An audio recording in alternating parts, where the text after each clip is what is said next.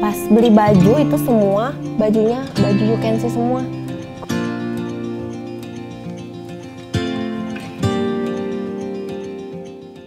oh iya iya Aduh, terima kasih banyak Teh udah Ya. mampir di podcastnya kita. sama-sama Jadi eh, apa namanya ini sebenarnya pod- podcast kita pertama buat perjalanan tegar. Eh, sambil juga kita sebetulnya pengen tahu sih eh, apa namanya kan namanya proses belajar ya. Aku pikir kayaknya kita banyak harus tahu dari perjalanan-perjalanan orang atau inspirasi-inspirasi teman-teman gitu. Eh, soal eh, apa ya namanya soal inklusi jadi mungkin aku pengen dengar sih cerita dari Tata gitu Eh, mungkin Tata juga bisa cerita gimana sih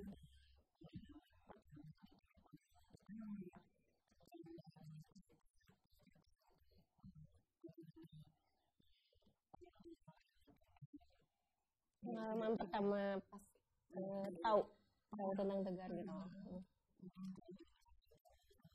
oh iya Eh, jadi gini pertama sih tahu tegar kayak gitu tuh waktu usia kandungan 7 atau enam bulan gitu ya Teh ya. Itu tuh awalnya saya USG sama suami. Nah di situ eh, udah mulai curiganya karena dokter itu periksanya agak lama banget waktu itu lama banget. Mungkin dokter juga ngerasanya ada yang salah gitu ya ada yang beda.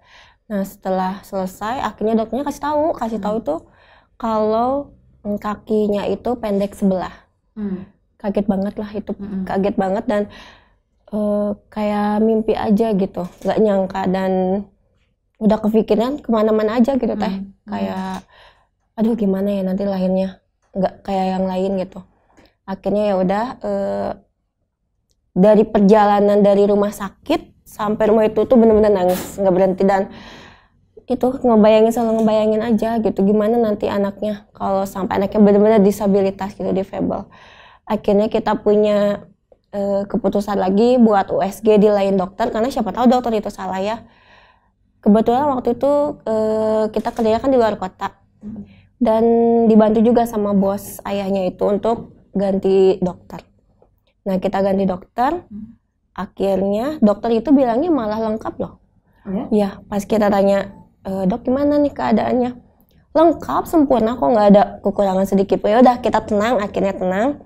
Nah tapi selama set- eh, selama setelah USG yang dari dokter kedua itu tetap aja kepikiran terus gitu sama kondisi bayinya. Meskipun memang kita tahu sih kata dokter itu kan gak apa-apa ya. Hmm. Tapi tetap itu selalu dapat mimpi yang aneh-aneh teh. Terus udah gitu pas beli baju itu semua bajunya baju you can see semua. Kok bajunya you can see semua? Mungkin itu ada pertanda atau gimana ya. Eh, udah aja. Eh, sampai akhirnya pernah siang-siang saya mimpi. Mimpinya tuh ya lumayan lah lumayan eh, nyeremin juga gitu. Sampai akhirnya kayak gimana ya langsung perut saya tuh kayak set kayak sakit gitu. Udah udah aja nggak dipikirin lagi setelah itu. Nah setelah kita mau lahiran itu tuh kalau nggak salah tanggal hmm, ya tanggal 20 20 Hmm. April. 20 April pagi-pagi itu emang udah kerasa banget tuh mules. Terus udah gitu keluar flek ya udah keluar flek akhirnya kita tunggu dulu karena belum waktunya sih sebetulnya nunggu berapa hari lagi ya. Eh, akhirnya sore itu kita telepon dokter yang bilang kalau anaknya sempurna. Hmm. janinnya itu sempurna nggak ada kekurangan apa pun dan ternyata memang nggak bisa. Hmm. Nggak bisa eh, dokternya tuh nggak bisa bantu karena lagi full katanya pasiennya waktu itu. Akhirnya kita cari solusi lain cari dokter lain dan betul-betul itu dokter nggak pernah periksa saya sekalipun gitu. Itu dapat rekomendasi dari bidan dekat rumah. Nah setelah itu emang posisinya itu janinnya udah kelilit ari-ari dan harus hari itu juga dilahirin. Pengennya sih tanggal 21 teh biar hari kartini. Nah, tapi karena udah kondisinya janinnya kayak gitu jadi akhirnya hari itu juga ke rumah sakit lah rumah bersalin. Nah udah tuh nunggu proses segala macem sampai ke ruang perawatan dan lain-lain gitu persiapan. Nah pas waktu lahiran di dalam ruang operasi itu tuh kedengaran banget. Emang karena eh, emang kan pas operasi itu setengah ya teh ya? Hmm. agak panjang nih ceritanya nggak apa-apa. Oh, jadi Oke. eh, setengah gitu kan. Jadi saya tuh sadar eh, pas operasi itu sadar dengar susternya itu sampai bilang gini dok eh, ibunya tahu nggak ini? Itu langsung cek hati tuh langsung oh mungkin yang apa ya? Jadi pengen nangis nggak apa-apa. Kakinya itu. Terus eh, saya sempat wah kalau emang kakinya memang sep- apa yang dikatain sama dokter itu ya udah nggak apa-apa itu anak saya. Saya pengen kasih asi gitu. Cuman emang waktu itu nggak bisa karena mungkin takutnya saya ngedrop dan akhirnya ya udah terus saya lihat sekeliling itu itu nggak tahu eh, apa ya nggak tahu peng- saya saya lihat atau gimana. Cuman ada dokter di situ duduk dokternya tuh sambil kebingungan gitu. Sambil gimana ya mungkin kaget dan bingung ngasih tahu ke sayanya kayak gimana. Ya udah akhirnya itu saya ke ruang pemulihan nggak langsung dikasihin itu Hmm. saya nanya mana anaknya mana? Nanti dulu ya bu. Mungkin memang karena kondisinya itu. Ya udah. Akhirnya setelah satu hari atau dua hari gitu teh baru ayahnya bilang "E, bu yang kata dokter namanya tuh boleh sebutin namanya? Ah, kata dokter Winda kondisi anak kita benar katanya soal kakinya. Oh iya terus? Tapi ada satu lagi katanya "E, nggak ada tangannya ya kaget banget lah teh. Itu Mhm. benar-benar kaget banget dan posisinya masih sakit. Karena kan sesar ya. Iya. itu pasti sakit. Kalau mau ketemu sama anak kita katanya "Eh, jangan nangis di depan anaknya. Mhm. oh iya. Waktu itu saya nggak nangis. Eh, yang ya sebenarnya sih pengen nangis ya teh. Kebayang nggak? Kita setelah lahiran tahu anak kita seperti itu. Ya pengennya sih sempurna. Tapi kan mau kayak gimana lagi ya teh? Ya udah akhirnya saya setuju nggak akan nangis di depan anaknya. Kebayangnya itu saya mikirnya yang aneh-aneh aja kayak ada tangannya cuman segini gitu waktu itu tuh pikirnya. Pas setelah dikasihin terus dibuka itu darah kayak benar-benar berhenti semua dan kaget aja gitu. Saya mau nangis terlanjur udah udah janji kan. Akhirnya waktu itu ya udah saya mau kasih asi aja saya terima anak ini. Cuma memang kepikirannya gimana keluarga keluarga nerimanya terus eh, apa di lingkungan sekitarnya seperti apa terus gimana sih nanti dia beraktivitas itu bingung banget ya karena memang betul-betul tuh nggak ada tangannya dua-duanya.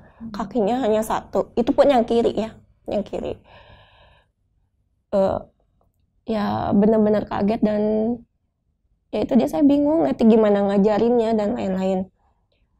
Akhirnya ya udah saya tetap gendong itu dan belum dikasih nama sih. Setelah itu ya udah banyak banget tuh yang telepon sana sini ngasih dukungan juga. Udah nggak usah nggak usah khawatir. Banyak kok yang nerima banyak yang sayang katanya.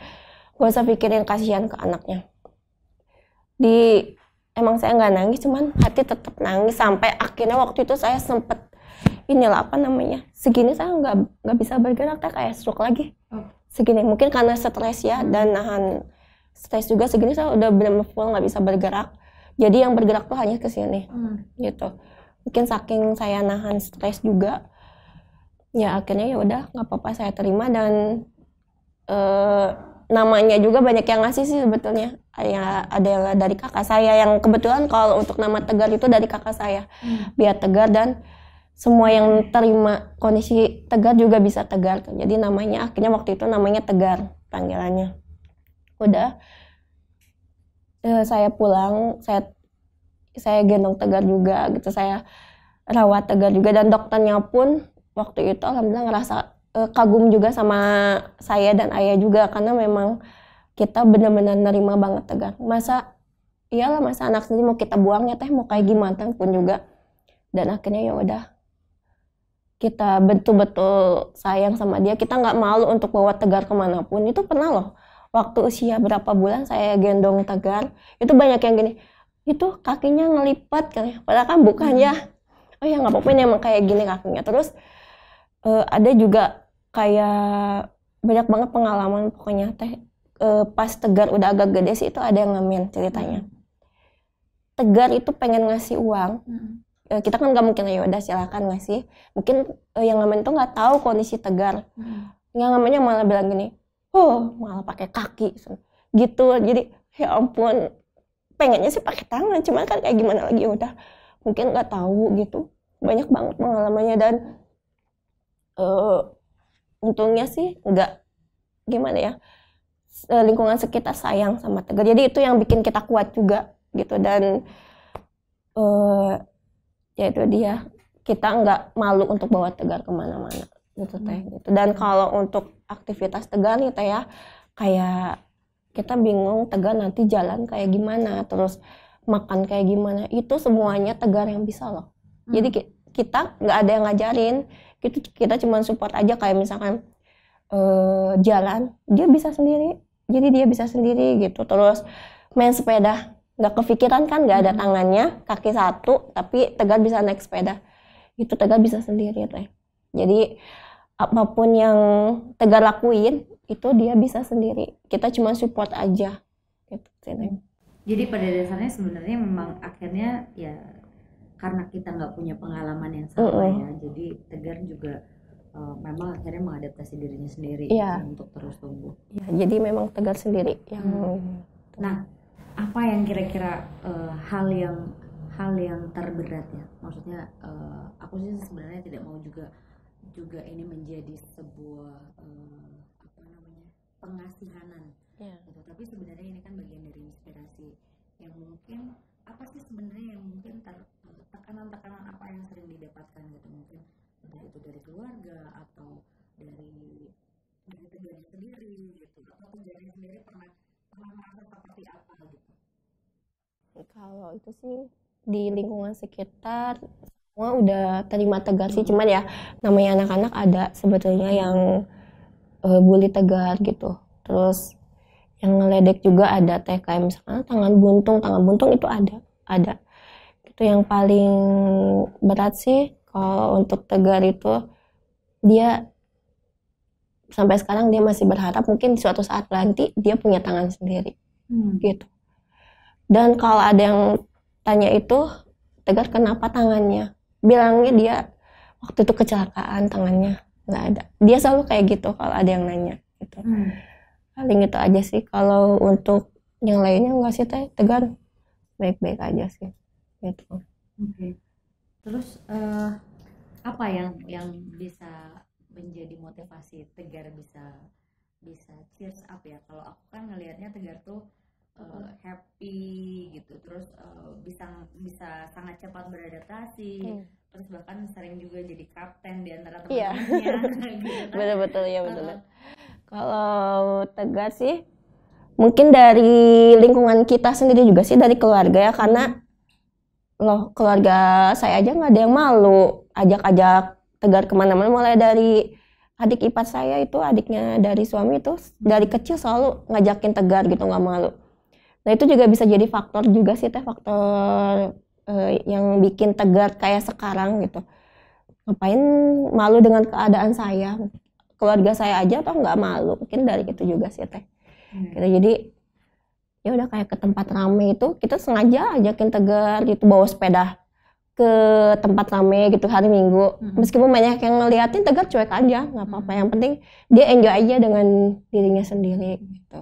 Ada yang ngehina juga kadang dia bales juga sih gini kamu bisa nggak makan pakai tangan eh pakai kaki maaf. bisa nggak makan pakai kaki? Kan kayak gitu. Bisa nggak mandi pakai kaki semua pakai kaki nulis pakai kaki? Nggak bisa kan ya, kayak gitu sih. Hmm. iya. Jadi ya. ke kitanya juga ke orang tuanya sendiri juga nggak gimana ya nggak sedih juga sih jadi kehibur sama tegar yang sekarang hmm. benar-benar tegar kalau perjalanan pendidikannya tegar itu gimana Nah, kalau untuk perjalanannya tuh kayak uh, pernah sih waktu TK. Mm-hmm. Tegar itu kita udah masukin TKB teh. Mm-hmm. Nah, TKB mungkin dilihat dari kondisi Tegar yang dikira kurang memungkinkan untuk beradaptasi, akhirnya itu dari gurunya tuh bilang Tegar lebih baik diturunin aja ke TKA karena biar bisa lebih mengikuti.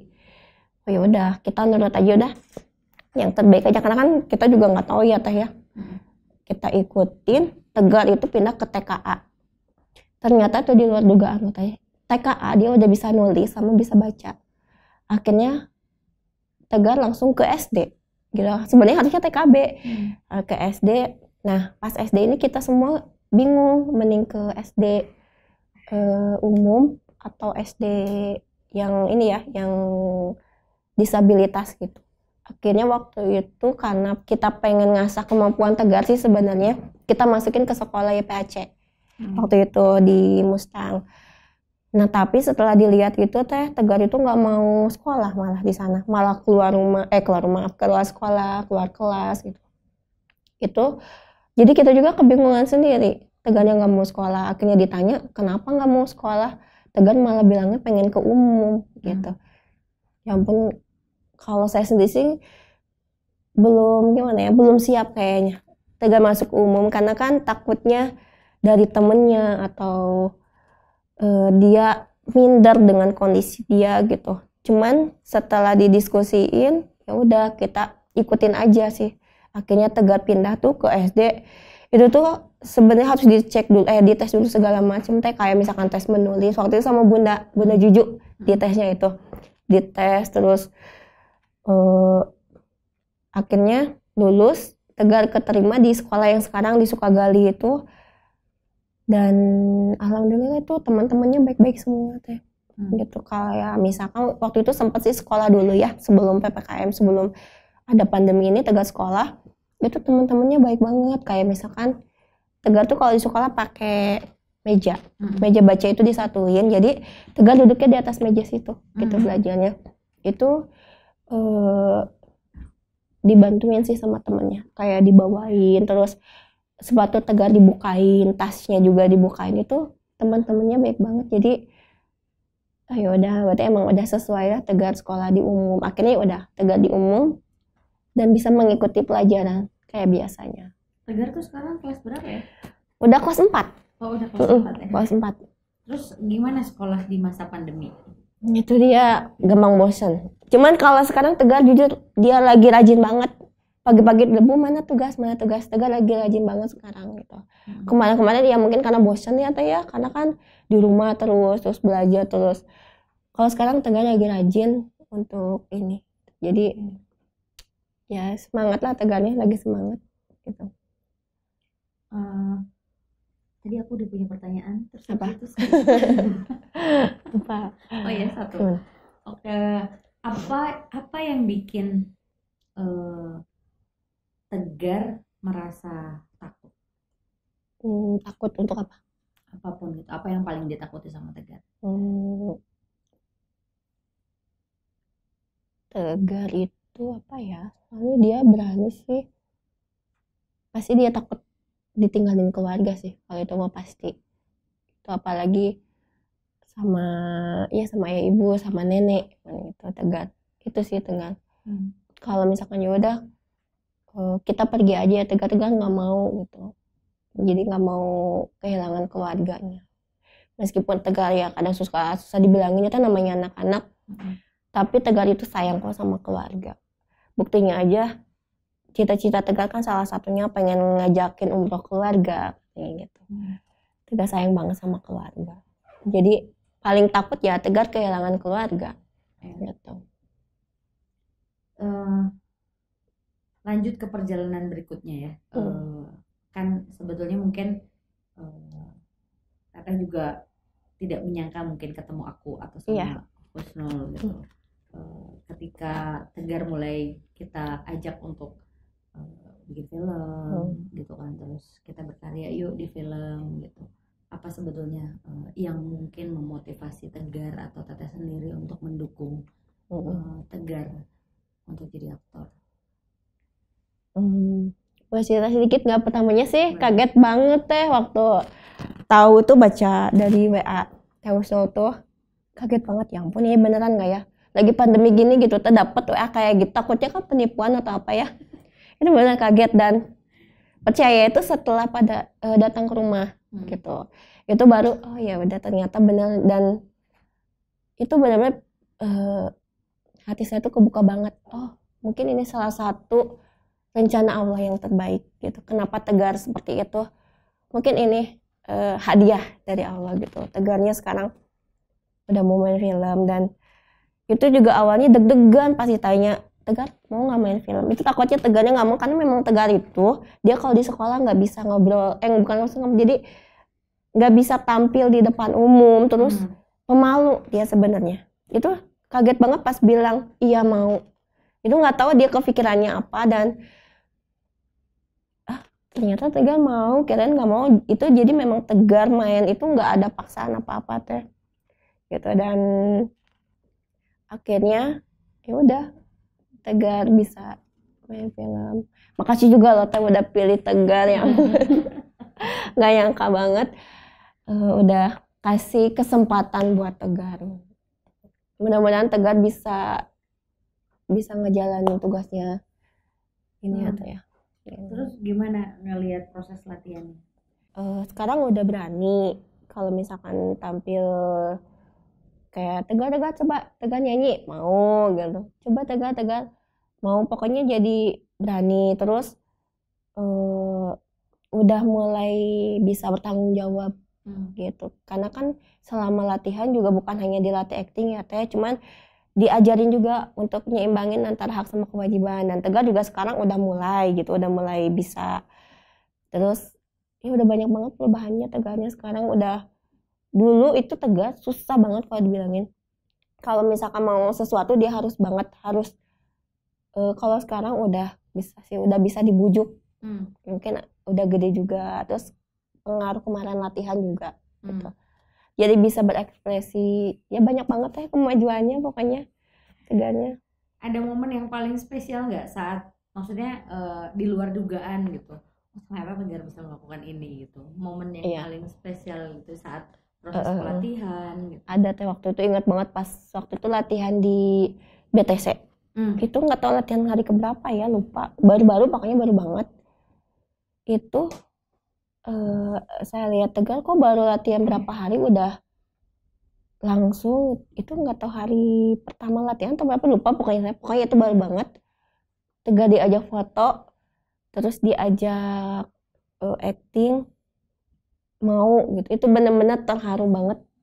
Itu momen yang paling nggak bisa dilupain pas waktu latihan itu tuh. Hmm.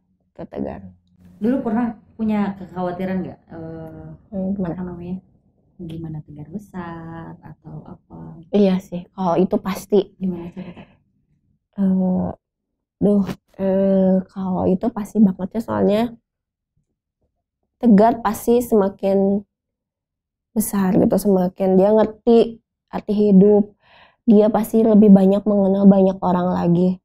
Saya juga bingung nanti Tegar gimana ya bersosialisasi? Terus eh maaf ya teh, saya juga berpikir nanti gimana ya ada nggak perempuan gitu yang bisa nemenin Tegar ya? Saya pribadi sih saya selalu berdoa semoga ada orang pasti lah ya Allah pasti kasih jodoh untuk umatnya gitu. Dan itu pasti takut tetap takut teh tetap takut nanti eh, gimana udah besarnya. Terus kalau sekarang teman-temannya iya masih kecil-kecil. Nanti kalau misalnya udah gede udah SMP mungkin udah SMA itu pasti kehidupan tegar itu bakalan berubah teh. Hmm. ya tapi mudah-mudahan eh, dengan tegar main di film ini itu bisa berpengaruh positif juga untuk nanti tegar udah gedenya itu itu Hmm. sih. Amin. Ya amin. Tegar juga soalnya udah seneng banget sih kan udah bis udah mau main film. Kalau misalkan dibilang nanti nggak jadi loh main filmnya oh iya bu kan kasihan juga ya Eh, ya kelihatan banget sih tegar semangat banget di film ini meskipun kalau latihan suka males ya tegar suka males cuman tegar tuh kalau langsung itu pasti dia bakalan berusaha juga sih Hmm. Ya. Gitu. Kan sebenarnya ini udah lama banget ya. Heeh. Maksudnya dari 2020 2020 dari 2020 terus udah 20, udah 2021 21. belum seding-seding juga nggak apa-apa maksudnya gimana gitu respon tegarnya karena kan sebetulnya memang ini pandemi gitu kan Iya. pandemi terus eh, banyak ekosistem yang akhirnya juga berubah gitu terus eh, aku pun juga sebenarnya akhirnya minta izin kan sama Hmm. teteh sama si ayah kan Hmm. buat gimana kalau misalnya kita membuat ini menjadi satu rasa kepemilikan bersama Iya. gitu kan Eh, supaya ada apa namanya eh, crowdfunding gitu kan. Jadi semua orang bisa punya rasa memiliki gitu. Iya. eh, apa yang memberikan maksudnya eh, kamu nggak apa-apa gitu kalau film ini menjadi jadi crowdfunding gitu. Memang memang harus juga di di, di apa dikampanyekan lebih ke hmm, supaya semua orang bisa gotong royong untuk mewujudkan film ini. Ya. apa? Ya itu sih teh. Jadi saya juga pengen film ini tuh bukan sekedar film kayak komersil gitu enggak. Cuman saya juga pengen film itu sebagai apa ya eh, bukti gitu. Kalau dengan gotong royong itu semuanya itu jadi lebih mudah teh. Jadi makanya yaudah nggak apa-apa gitu. Jadi biar ketawa eh, biar ketahuan juga sih ternyata banyak kok orang yang care sama disabilitas gitu sama itu. Untuk perjalanan proses yang lama juga kita sebenarnya nggak apa-apa sih soalnya kalau yang instan itu tak pasti nanti berakhirnya instan juga dan semoga dengan perjalanan kita yang panjang ini yang banyak banget perjuangan itu akan menghasilkan sesuatu yang sesuai sama yang kita harapkan gitu ya Teh Ami. amin Iya karena kan emang usaha tidak ada yang mengkhianati hasil. Gitu sih. Iya prosesnya emang lumayan setahun lebih Hmm. tapi ya mungkin ya udah itu aja kita terima aja karena kalau instan nanti udahnya instan juga. Biasa kan kayak gitu ya teh. Semoga ini enggak. Semoga jadi panjang film tegar juga jadi banyak yang suka bisa sampai keluar. Amin. Ya karena itu kan cita-citaku ya sebenarnya. Iya. sebenarnya cita-citaku eh, di film ini mungkin ini tidak akan menjadi film yang terbaik. Tapi aku punya harapan bahwa eh, ini akan terbaik untuk Tegar gitu. Karena eh, Tegar spesial gitu dan Tegar mampu aku pikir gitu. Ya semoga ya. Ya amin. Mudah-mudahan proses yang panjang ini juga memang tidak akan mengkhianati kita. Iya betul. Semoga Ya, gitu teman-teman di sana eh, bisa juga mendukung hmm, pergerakan atau wujudkan bersama film Tegar. Terima kasih. terima kasih. Kita akhiri. iya